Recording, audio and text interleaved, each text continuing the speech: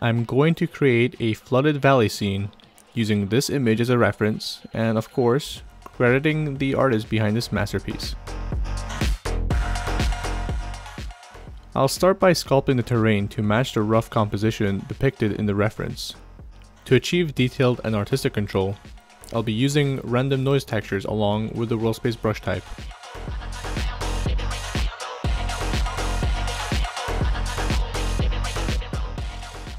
Next, I'll set up the foliage and refine its materials as needed, which in this case means almost everything will require adjustments. Once the foliage brushes and settings are properly configured, I'll move on to the background assets, also known as vistas. These are essential in any scene as they fill in the distant background without being performance heavy.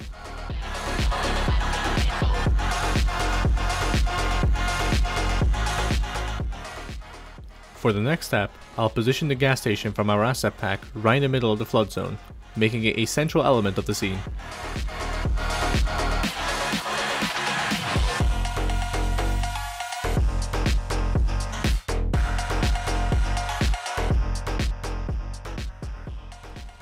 Now comes the spline work, including roads and mudslides, which will add extra layers of detail.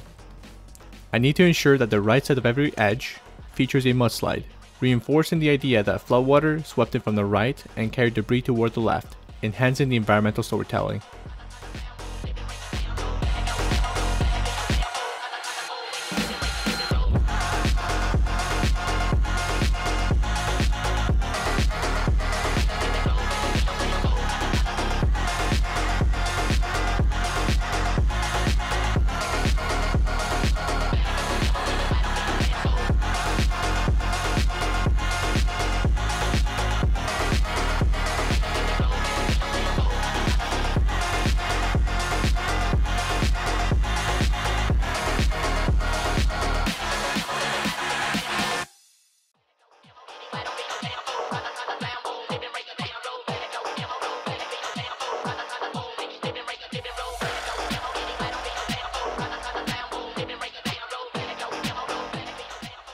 Since these valleys are incredibly deep, I quickly adjust the props to maintain a balanced final composition. To add depth to the scene, I'll place a tunnel at the very end for a key background detail shot. I'll start by sculpting the hillside, then cut out a rough tunnel entrance, before finally filling in the opening with our tunnel mesh.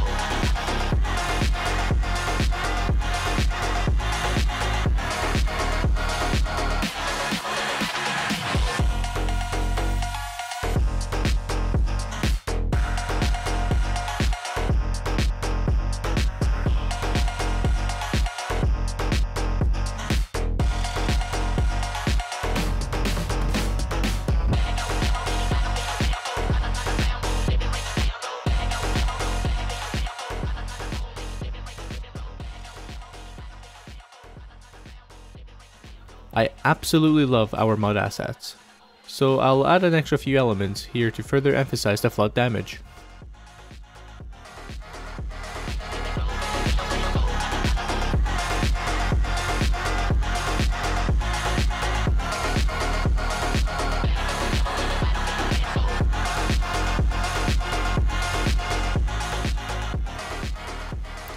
Post-processing can either make or break a scene, so I'll take extra care to fine tune it, ensuring I capture the cold, gloomy, and oppressive atmosphere that will highlight the devastation caused by this natural disaster.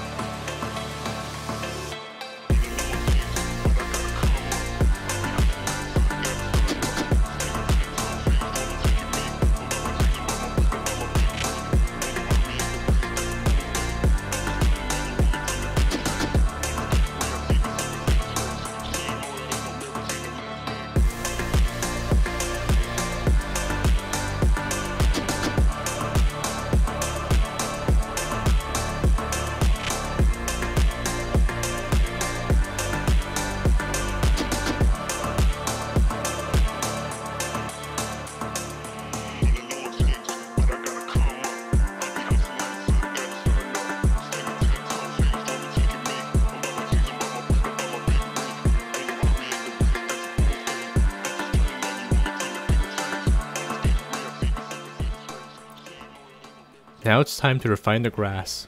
Apply some color corrections, and use our foiler shader to adjust the grass's positioning, giving it a flattened damaged look consistent with the aftermath of a flood.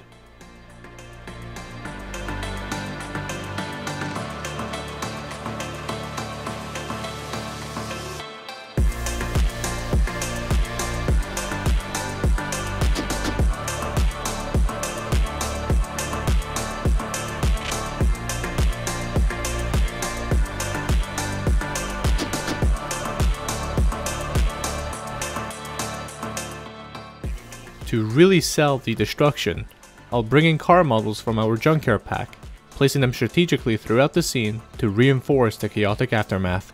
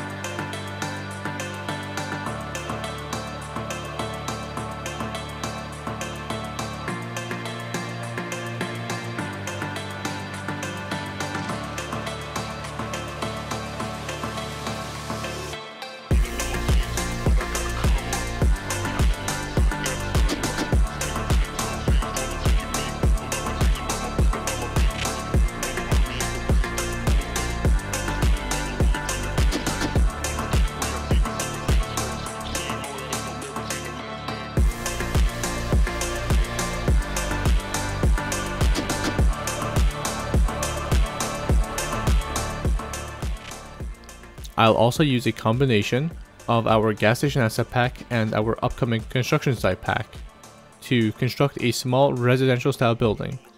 This will serve as a subtle showcase for our photoscan assets adaptability and flexibility.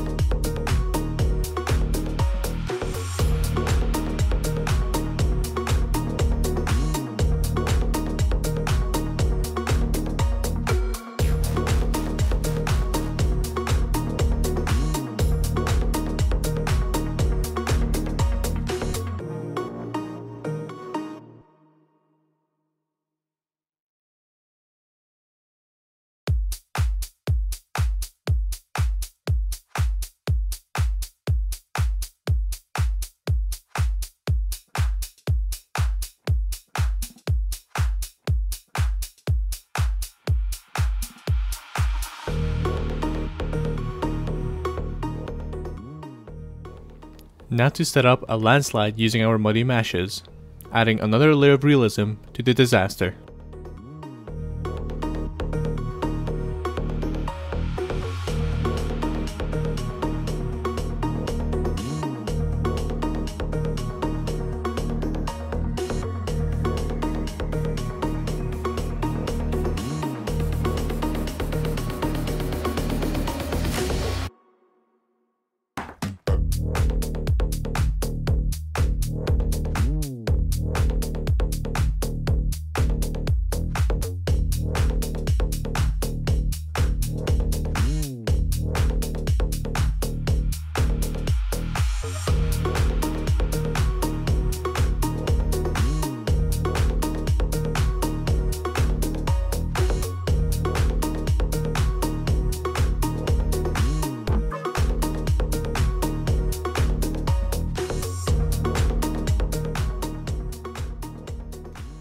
Touch of artificial lighting will help refine the overall mood and depth of the scene.